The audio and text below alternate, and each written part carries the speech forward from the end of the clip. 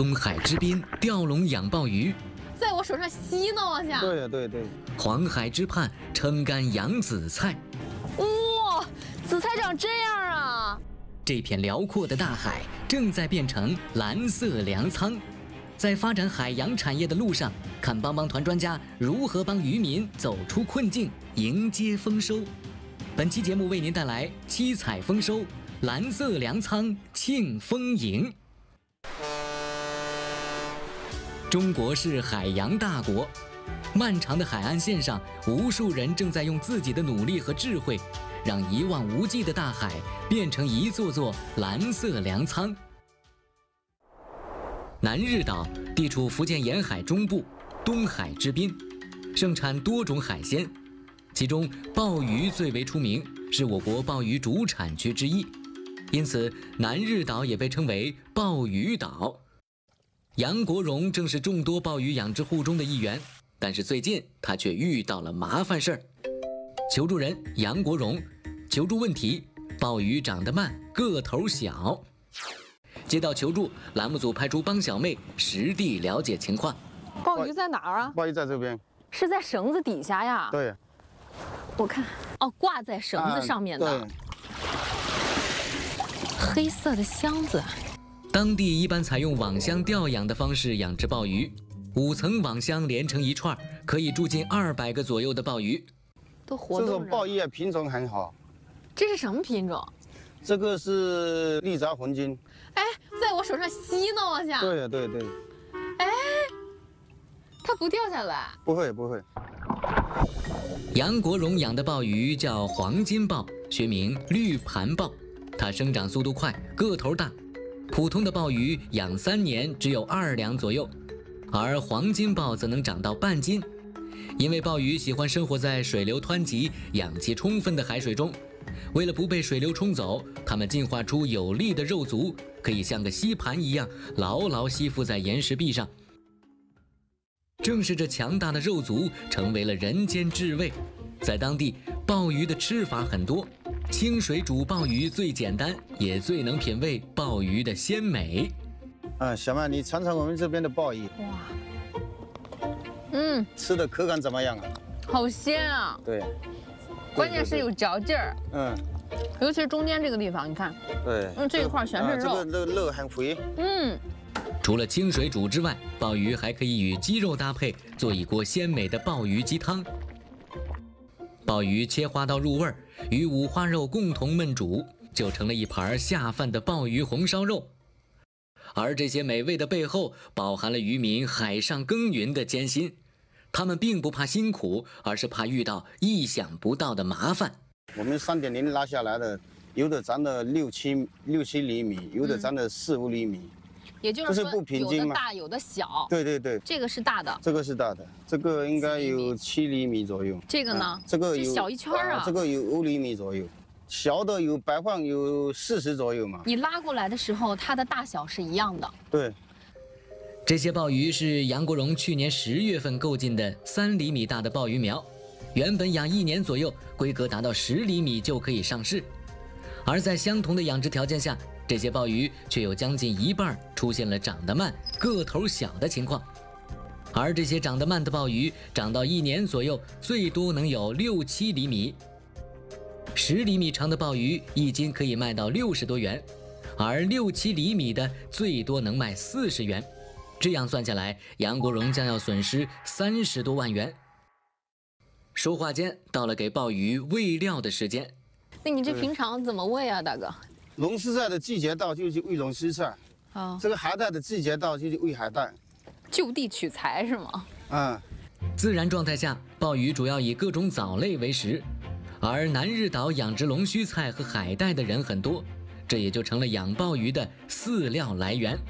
每一盒是放多少？每一盒放了一斤多，直接放进去啊？嗯，我自己试一个，这得很很重，这得多少斤啊？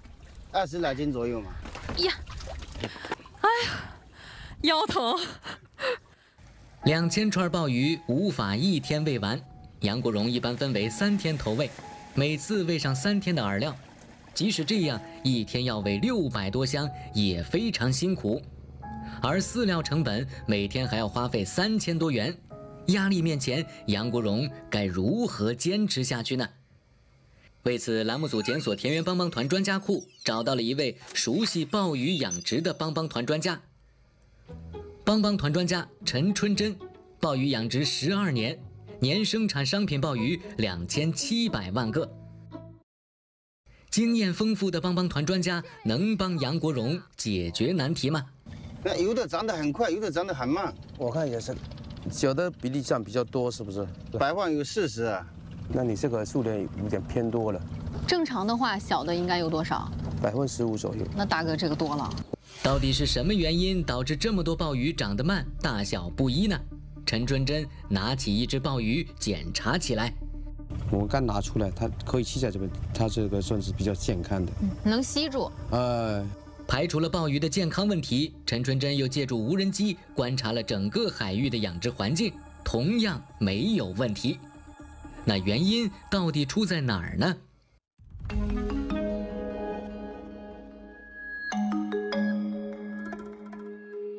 一番排查之后，陈春珍停在了鱼排中间的位置。情况怎么样？呃，你这个混水量好像不够。你看这个，我们要看这个深深的漂的那个斜度。如果漂的斜度那个差不多有个四十五度，它这个超级是刚刚好。如果像我们这个水质的，那就这个水体交换量它就不够。网箱吊绳的倾斜角度是在海水流动的作用下形成，吊绳倾斜角度越大，说明水流速度越快，水体交换量也越大。所以陈春珍根据网箱吊绳的倾斜角度判断，鱼排中间的水体交换并不理想。不够就影响那个鲍鱼大小了？影响它鲍鱼吃饵料吗？水体交换量关系到水中的溶解氧含量。一般来说，水体交换量越大，溶解氧含量越丰富。鲍鱼要想正常生长，要求溶解氧在每升海水四毫升以上，否则就会因为缺氧导致鲍鱼生理代谢活动变慢，采食量也会随之降低。鲍鱼吃的少，长得也就慢了。为了验证自己的判断，陈春真随机打开了一串当天还没投喂的网箱。这边你看剩余的饵料也挺多的。我觉得跟今天刚喂的没什么区别啊，大哥。啊，你看前三天喂的。你怎么看出来它这个是剩的？我们那个新鲜的是那个红色的，你看这个都变色了，水体交换量不够嘛，鲍鱼吃的是比较慢。在适宜环境下，五到七厘米大的黄金鲍，每只每天可以吃四克左右的饵料。一层网箱四十个左右的鲍鱼，三天内应该能将投喂的一斤饵料全部吃光。而陈春珍却发现，很多靠中间的网箱，三天前投喂的饵料，现在仍有大量剩余。为了证实这些剩余的饵料跟换水量不够有关，陈春珍把杨国荣带到了鱼排的外围。你看这个绳子跟刚才我们那边看的就不一样。对，确实不一样。那边那个绳子是垂直的。说明你你这边的这个水体交换量就够。鱼排最外围的网箱没有东西阻挡，水流较大，水体交换量符合要求。这里的饵料有没有残余呢？你看，这笼子里面的这么干净。对呀，对。嗯。这边我们这边水体交换量够，吃饵料也吃得快，它都吃吃光了。这边的鲍鱼肯定那个比那边的要要大。你看，这个这个个头确实不小。呃，比刚才我们那边那个大得多了。经过多次查看鱼排中间和外围的网箱情况，发现差异确实很大。由此，陈春珍基本断定，鱼排中间的水流过慢，水体交换量不够，是导致鲍鱼小的主要原因。不过，鱼排中间与外围水体交换量有差异是正常现象，并且杨国荣养殖的前两年鲍鱼生长都比较正常，为何今年却出问题了呢？以前你这边那个这些一排一共养了多少？养了一千五左右嘛，今年又添加差不多两千左右。哦，难怪你这个就是密度偏高了。按我们标准的，我们这边是一平米挂个四串。我刚才看了一下，杨大哥这边一平多了那个两张疮。也就是说，你增加只是增加了鲍鱼，你的鱼排的面积没有增加。没有，没有，没有，就没有地方挂了。就然后都想想一想，一平方米哈，有放了八到七笼因为对养殖密度了解不够，杨国荣的鱼排上每平方米都挂了七串左右鲍鱼。海水的流动速度被密集的网箱层层阻挡而变慢，水体交换受阻，越靠鱼排中间越明显，这才导致了问题的发生。那你这边最好这个一排再给它那个增加一排，把这个密度高的给它移那边去。增加鱼排意味着要追加投入，这让杨国荣有些犹豫。为了打消他的顾虑，陈春珍邀请他到自己的基地参观，希望他能转变思想。我带你们参观一下我这个疫苗厂啊。从海面养殖转移到室内养殖，是陈春珍为避免天气影响所采用的一种养殖模式。可以通过循环水和增氧设备来给鲍鱼提供更适宜的生长环境。我拿这个大鲍鱼给你们看一下，哎，你看一下，哇，这这么大，天哪！你看，你看这鲍鱼这么大，我觉得这，哎。这不不只是手掌大小是吧？哇，这只真的是太大了。那个很肥啊，你看肥度很好。嗯。那个南南洋啊，在我们本地的也很难看到，很羡慕，很羡慕。杨大哥，你看，这个就是我们这边那个标准的鱼排，绳子的这个倾倾斜度，你看，往那边飘。都是斜着。哎，都是斜的，你那边都是垂直的。我们这边过去，这边过来一平米啊，总共才挂了这四个，一二三四，哎，个头跟你那边比一下什么样？嗯，个个都是平大，大小挺一致的。是是，就像这个这样就会转了。那个笼子里面不不算饵料，嗯，还是你们这边好。啊，那你回去有深感深感一下，最近那个尽量也买个好点啊。多谢多谢多谢。对。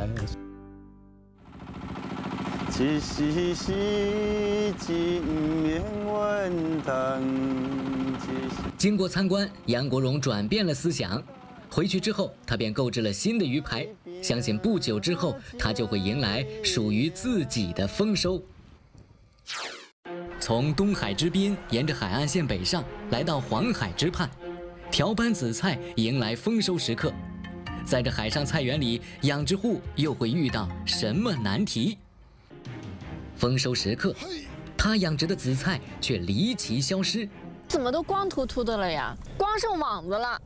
帮帮团专家现场诊断，能否帮他找出紫菜消失的原因？你看边上这一块哈，也马上要脱落了。你看，帮扶正在进行中，不要走开，稍后精彩继续。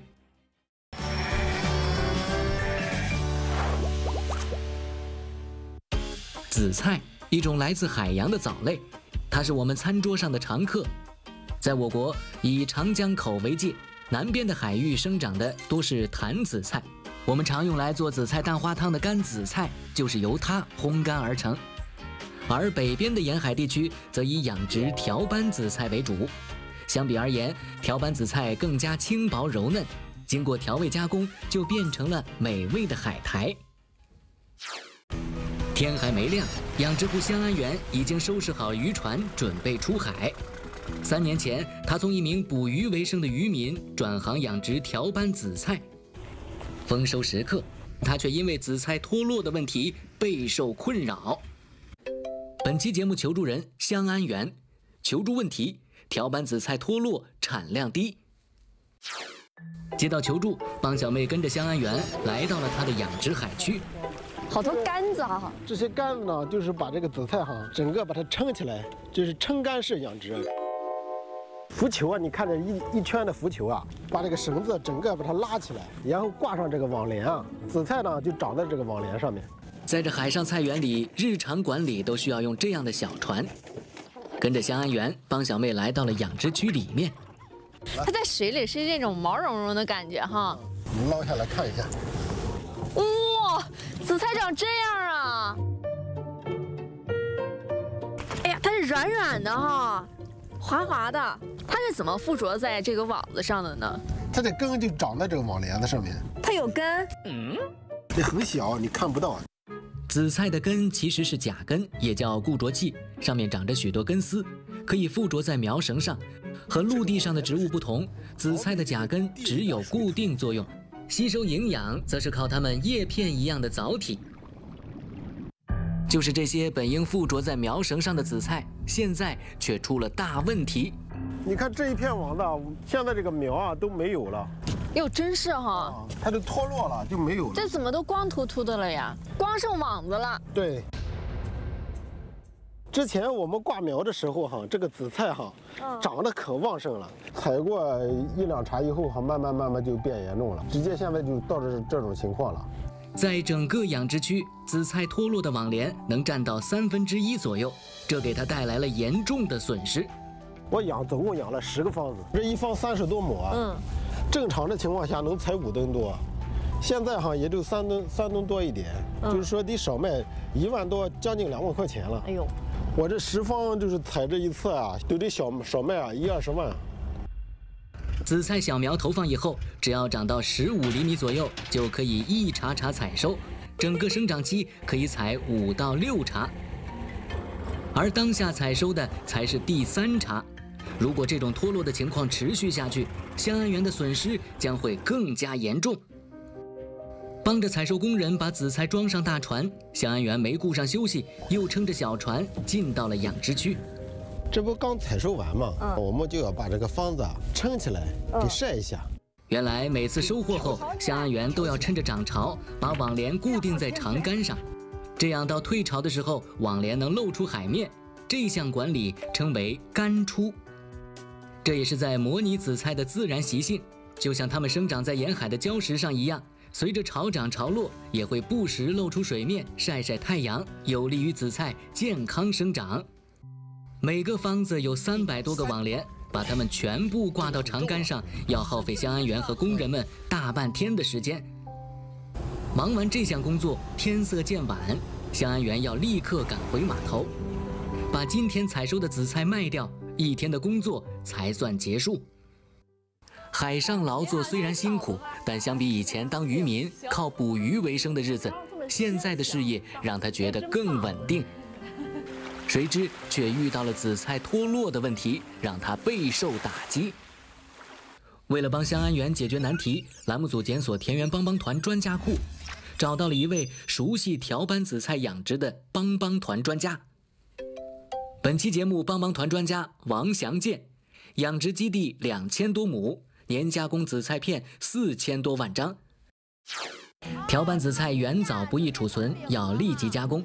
经过清洗、切碎、浇制、干燥定型等一系列工序之后，就变成了这样的片状干紫菜。那这个呢，只是半成品，它还得经过高温烘烤，熟化了以后哈，变成寿司海苔，就是烤紫菜。还有呢，就是我们调味儿，加各种调料，然后呢，我们可以卷上油松啊，呃，加上芝麻啊，加上一股南瓜仁啊，能做出各种各样的对对，各各种各样产品。大哥，为了帮香安园解决难题，第二天一大早，帮小妹带着专家来到了香安园的养殖基地，挑上来看一下。哦，脱落那么严重啊！哎呦，你这损失大了。老师，您说这个紫菜长得好好的，它怎么能从网帘上掉下去呢？它这个东西不像植物一样，它这个根系那么发达，就是一旦要是出现不健康了哈，它这个甲根哈固着不了那么大的藻体，它会造成脱落。到底是什么原因导致条板紫菜生长不健康呢？一番仔细观察之后，王祥建从网帘上拽下一片紫菜，放在手里搓了起来。这是要干什么呢？搓一搓，搓一搓，表面的附着的东西都能搓下来。你看，这就下来了。你看，哦这个像水的颜色变色了。紫菜的汁水是吧？不不不，这是硅藻水。硅藻水。对。硅藻是什么呀，老师？附着性的一种藻类，附着在紫菜叶面上。正常情况下呢，它是不容易下来。我们通过这个油搓啊，能把上面一部分硅藻啊，能搓下来。它里面浓度非常大。挤出来的水啊，都是咖啡色、茶色。正常紫菜是没有这个颜色的，它水是清的。海洋里有很多肉眼看不到的微小藻类，需要附着在其他生物身上生长，硅藻就是其中之一。它附着在条斑紫菜身上之后，就像庄稼地里长杂草一样，会跟条斑紫菜争夺营养，影响它的正常生长。为什么香安园这里的紫菜会附着上这么多看不见的硅藻呢？不远处，一个正在干出的方子吸引了专家的注意。平时那干出啊是怎么干出的？昨天不刚采完菜吗？今天就把它晒起来了。平时哈就是说每次都晒两三天啊，每天啊就是干出个两到三个小时。啊，都是你采完菜以后，都是每天晒两到三个小时。连续晒两到三天，对对对，你这远远不够啊，那不够啊！在香安园看来，干出就是让阳光给紫菜杀杀菌。难道这项管理与硅藻还有关系？紫菜呢，细胞壁呢比这个其他杂草啊厚，说它耐干出能力呢也比较强。利用这一个，就是时间差，就是紫菜呢死不了，嗯，然后杂草呢都给晒死，就是我们是达到这个目的。原来干出不到位，紫菜上的硅藻没有被晒死，就会越附着越多，最终影响紫菜的健康。可是这硅藻肉眼根本看不见，专家的说法如何让求助人信服呢？为此，王祥建取了一些样本，然后带他们来到了连云港市海洋与渔业发展促进中心的实验室。条板紫菜上究竟是不是像专家说的那样附着了硅藻呢？你看看看，听说了吧？长这样啊？对，哦，它就像那个扇子一样，它都靠那个三角形的底部啊，附着在紫菜叶片上。这个有多大呀？大一点的有六百多微米，小的也就两百，甚至有一百多微米。那这么小的东西，它危害有那么大吗？对，它的繁殖能力是非常快，一般都是一分为二，一个变两个，两个变四个，越来越多。它都是它附着到最后呢，它把这个叶片啊整个给包裹住了。到最后，这个紫菜的叶片啊，光合作用和这个透水性、吸收营养，它都受阻。到最后，紫菜的话几乎都没有，都是没有生长能力了。到最后就脱落了。这种还有办法解决吗？有办法，增加这个暴晒时间啊，干露时间啊。那香安园下一步究竟该如何进行干出管理呢？专家决定先带他到自己的养殖基地去看一看。这个紫菜长得，你看多茂盛啊！嗯，王老师，你这个产量肯定很高吧？这个产量，我们的一方三三亩哈，都是正常现在这个产量哈，都是六到七吨。一产六七吨，那比我的这个产量高多了。差距就出来了哈。我们拉上来看一下，对，来看看这个菜，你看长得，哦，这个确实是多。嗯，看一下这个硅藻情况，嗯搓一下看看这个。对，这个你看比您那个都都轻多了。嗯，这个菜这个菜水是清的，这个是啊，它没有那种茶色哈。对，紫菜长得好，主要得益于干出方法得当。哎，这边网帘吊的高啊，这干透了，这才能达到真正的干出的效果。去除这个硅藻啊，就是杂藻啊，是最有效的。干出管理，王祥建会根据潮汐规律，在海水涨潮到最高的时候，把网帘固定起来，并且会尽量提高网帘的高度。因此，每天的干出时间至少能延长两个小时以上。正常我采完菜以后啊，连续干五到七天，每天的时间呢，我根据藻体的状况，一月份到二月份啊，不是水温就是比较低嘛，硅藻爆发期，这段时间呢，我基本控制在五个小时以上。如果这个菜呢，比如说感觉是没问题了，我们为了为了生长速度快一点，放到三个小时，这样定。嗯。找到了解决办法，香安园悬着的心终于放了下来。回到自己的养殖基地，在专家的指导下，香安园重新调整了紫菜的干出时间。对，撒撒拉，吊高一点，你比平时哈多个五六十公分。嘿，嘿。耕海牧渔，把广阔的海洋变成了蓝色粮仓。这些来自海洋的味道走上餐桌，让中国饭碗更加丰盛。这正是属于大海的丰收。